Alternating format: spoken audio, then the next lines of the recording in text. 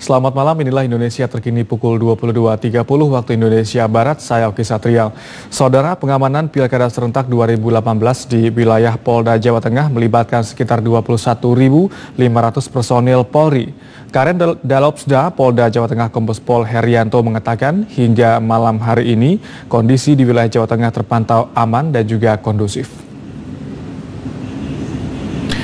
Kepala Perencanaan Pengendalian Operasi Daerah Karen Dalopsda Polda Jawa Tengah Kombes Pol Haryanto mengatakan sudah memetakan wilayah rawan dalam putaran pilkada di Jawa Tengah. Menurutnya yang menjadi perhatian khusus bagi Polda Jawa Tengah adalah wilayah yang hanya memiliki dua pasang calon karena rawan timbul perpecahan. Namun semua kerawanan tersebut sudah diantisipasi sehingga malam ini wilayah Polda Jawa Tengah tetap aman dan juga kondusif.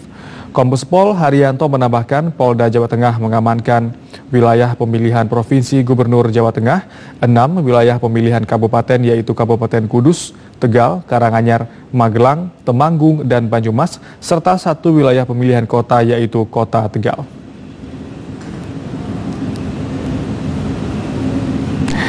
Demikian Indonesia terkini, selamat malam dan sampai jumpa.